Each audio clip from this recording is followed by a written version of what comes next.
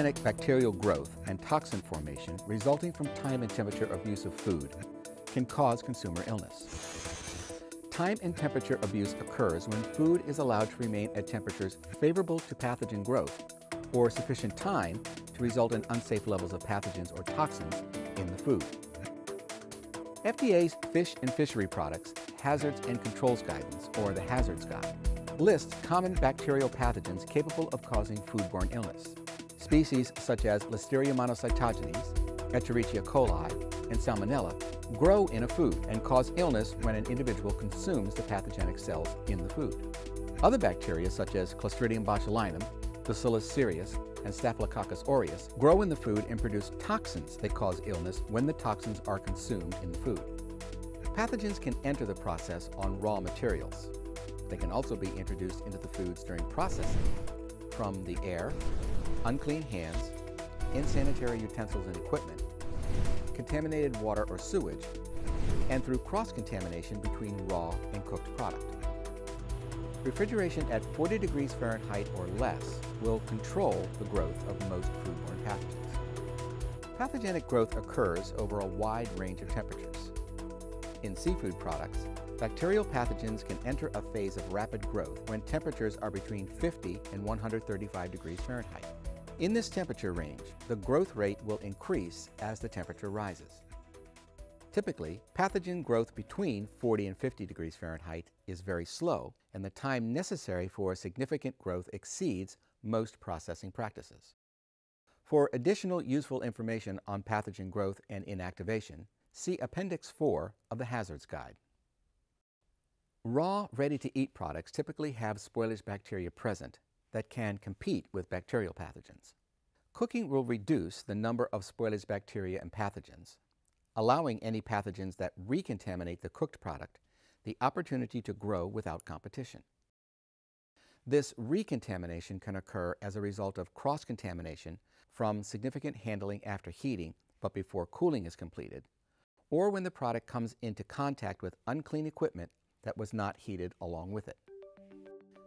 Time and temperature abuse at one step alone might not result in an unsafe product. However, time and temperature abuse that occurs at successive processing steps, including transit and storage, when added all together, may be sufficient to result in unsafe product. So the key to controlling pathogen growth is by managing the amount of cumulative time the product is exposed to unrefrigerated conditions in the range of 50 to 135 degrees Fahrenheit during processing. In Chapter 12 of the Hazards Guide, FDA recommends four different time and temperature control strategies for controlling the hazard of pathogen growth and toxin formation. Control Strategy 1 is applied at receiving for products during transportation. Control Strategy 2 is for refrigerated storage and processing that occurs at 40 degrees Fahrenheit or below. Controls for receiving and storage are discussed in detail in another video called Secondary Processor Receiving and Storage Controls. Control Strategy 3 is for cooling after cooking, where there is no significant handling during cooling and there is a need to control spore-forming pathogenic bacteria. Control Strategy 4 is for unrefrigerated processing that occurs at temperatures above 40 degrees Fahrenheit. In Control Strategy 4, the critical limits are separated into raw ready to eat and cooked ready to eat. In this video, we'll focus mainly on Control Strategy 4 for unrefrigerated processing. We'll use examples of raw ready to eat and cooked ready to eat products to demonstrate how to evaluate cumulative time and temperature exposures and select the appropriate critical limit option from Control Strategy 4 to control pathogenic bacterial growth and toxin formation in your process. The critical limit recommendations in Control Strategy 4 are based on cumulative exposure time for processing that occurs below 50 degrees Fahrenheit, between 50 and 70 degrees, between 70 and 80, and above 80 degrees. To determine cumulative exposure time for unrefrigerated processing, start by constructing a flow diagram that lists all of your processing steps. Then identify any steps that occur at temperatures above 40 degrees, such as filleting, washing, grading, weighing, and labeling. Now look at each unrefrigerated processing step and determine the exposure temperatures and exposure time for each. For raw ready-to-eat products, exposure time typically begins when the product is removed from the refrigerated storage into ambient temperatures above 40 degrees. For cooked ready-to-eat products, exposure time will likely begin when the product is first handled after cooking. You'll need to determine how long each unrefrigerated processing step lasts and the internal product temperatures during each step, taking into consideration the exposures that are reasonably likely to occur under the worst conditions at any given step.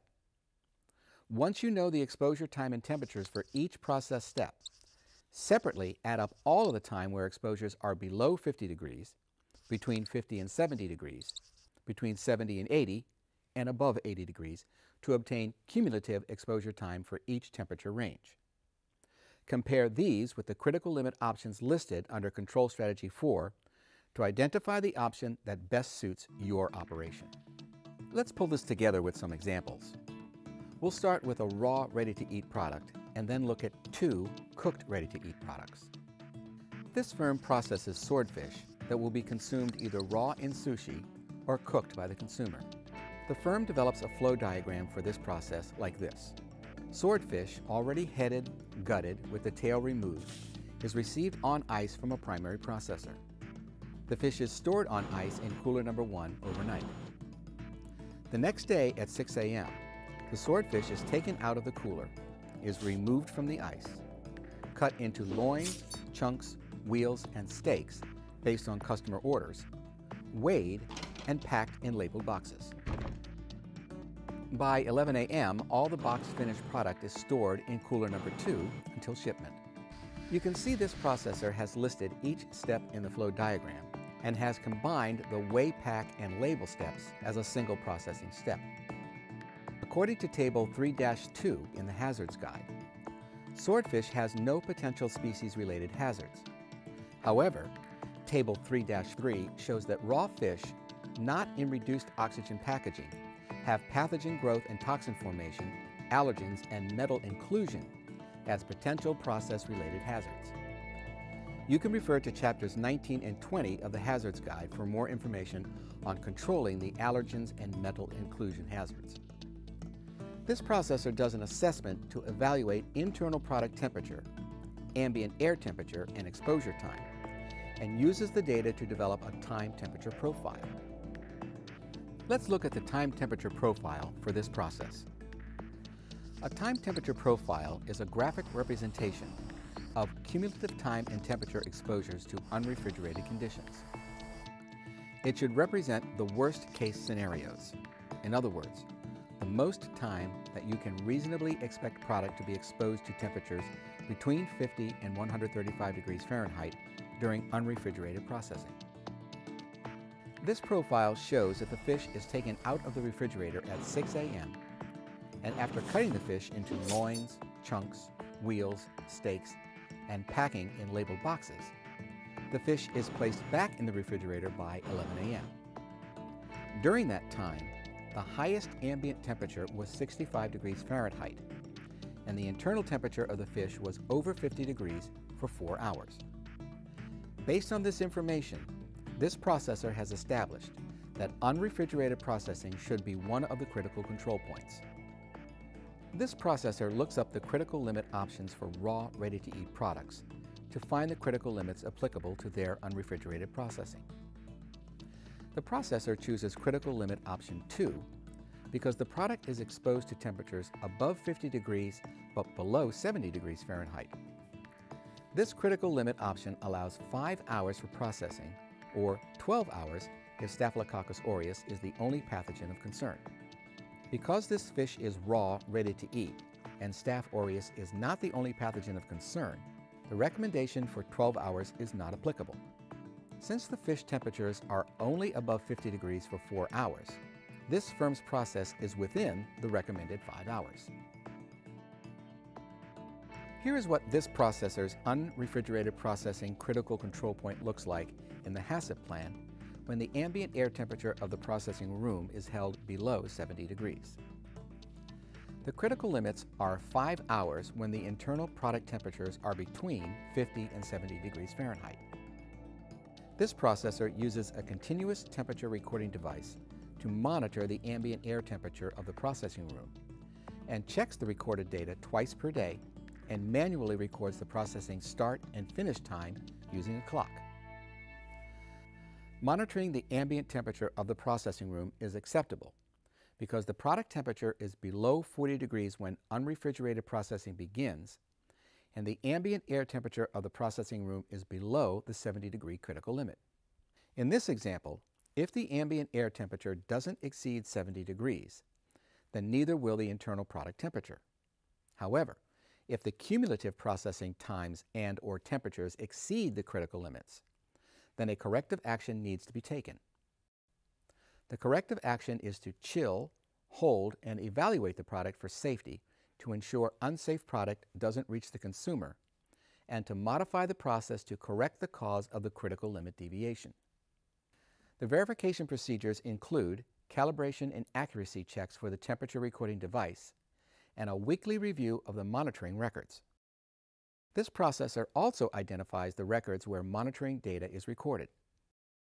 More detailed information on calibration procedures and accuracy checks are discussed in another video on secondary processor receiving and storage controls. Now we'll talk about cooked ready-to-eat products. Earlier we said that exposure time for cooked ready-to-eat products typically begins when cooling is finished or at the time product is first significantly handled after cooking, whichever occurs first. This is because cooking will reduce the number of spoilage bacteria, so if the product is recontaminated after cooking, the pathogens will have the opportunity to grow without competition. Our next two examples are for cooked, ready-to-eat crab meat, where significant handling occurs at different temperatures after cooking. Let's see how handling impacts the selection of the critical limit option. For this discussion, you can reference figures 12-1 and 12-2 found in Chapter 12 of the Hazards Guide. These figures are similar to the examples we're about to discuss. Here's a flow diagram for crabs that are cooked, backed, picked, and packed. While both processors have the same flow diagram and have the same unrefrigerated processing critical control point, their processing critical limits will be different based on when handling begins. Here, one processor handles the cooked meat before it's cooled, and the other handles the cooked meat after cooling the product to below 50 degrees Fahrenheit. Both processors do an assessment to evaluate internal product temperature, ambient air temperature, and exposure time, and use the data to develop a time temperature profile. In this first graph, the processor removes the back shell of the crab, called backing, while the product temperature is above 80 degrees Fahrenheit. After backing, the crab is placed in the cooler and the internal temperature of the product is monitored, showing the product is below 70 degrees within the first hour after the initial handling. Then, as the product continues to cool, monitoring shows the internal temperature is below 50 degrees during an additional hour. The crab is taken out of the cooler for picking, where the cooked crab meat is removed from the shell by hand. During the picking and packing steps, the temperature of the crab meat goes above 50 degrees for an additional two hours. Now remember, we said that times and temperatures during unrefrigerated conditions are cumulative. So here, the processor's assessment has shown that the product was above 50 degrees Fahrenheit for a total of four hours, and that only one of those hours was above 70 degrees. Because the internal temperature of the product exceeds the ambient air processing temperature during unrefrigerated processing, this processor decided to monitor internal product temperatures. Based on the assessment, the processor also determines that unrefrigerated processing should be listed as a critical control point in the HACCP plan. In order to establish appropriate critical limits, the processor looks up the options under Cooked Ready to Eat and chooses Critical Limit 1. As you see, there are two options for this critical limit. The first option is very strict and assumes that after the initial backing, there's no additional handling. Since the backed crab cools to less than 70 degrees within one hour before picking and packing, this processor should choose the alternative option. The alternative allows a total of four hours of processing time so long as no more than one of those hours is above 70 degrees Fahrenheit. Here's what this firm's unrefrigerated processing critical control point looks like in the HACCP plan. The critical control point includes backing, picking, and packing.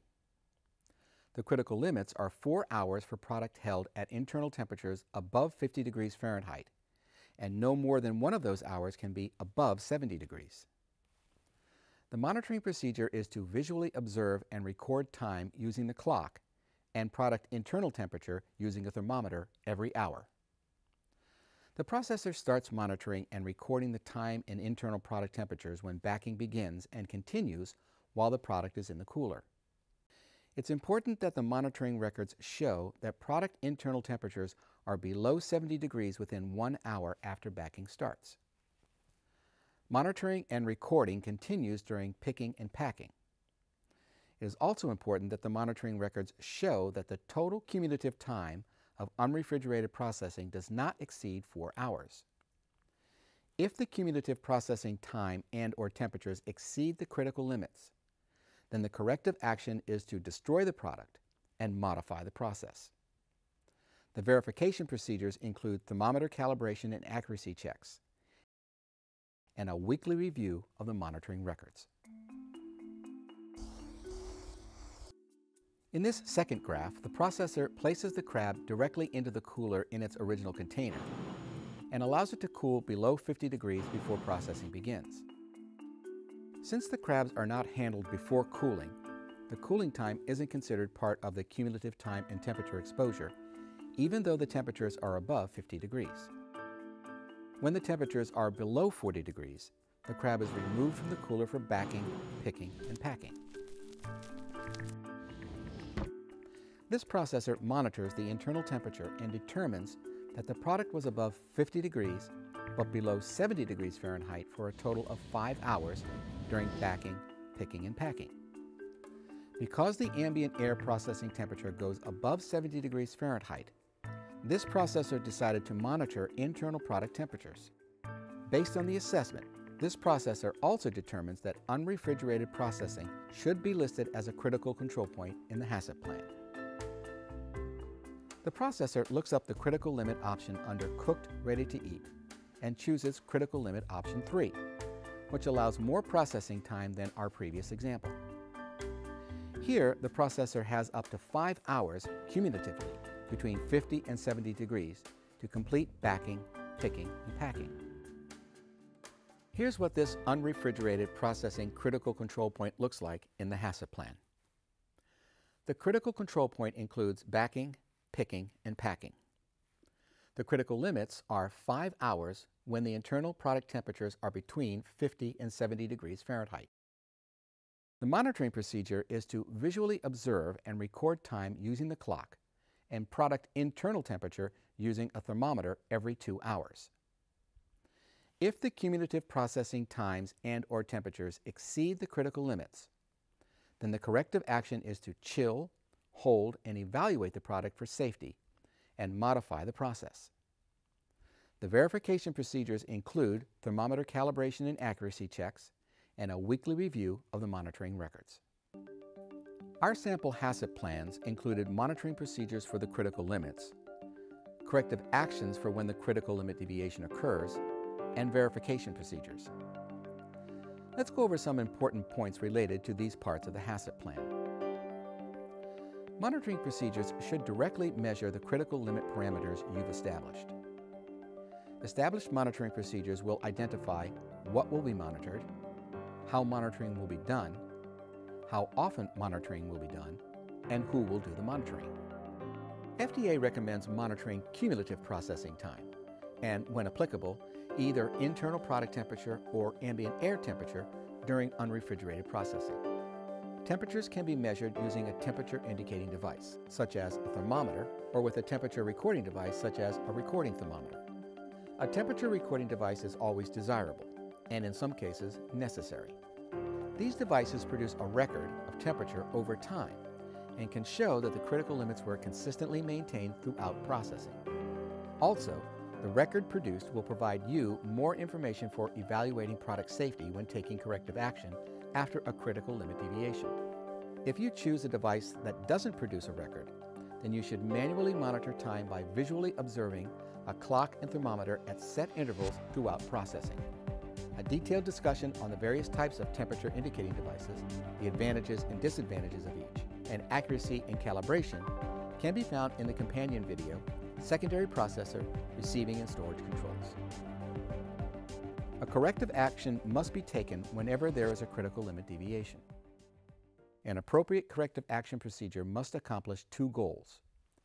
Ensure that an unsafe product doesn't reach the consumer and correct the problem that caused the critical limit deviation. Corrective actions should relate to the specific critical limit and FDA's recommendations are included with each control strategy listed in the hazards guide. Verification procedures ensure that your HACCP plan is adequate to address the hazards and is consistently being followed. Verification activities include calibration and accuracy checks of monitoring equipment and review of monitoring, corrective action, and verification records. Monitoring equipment, such as temperature measuring devices, should be checked for accuracy before first use and then at least daily after that.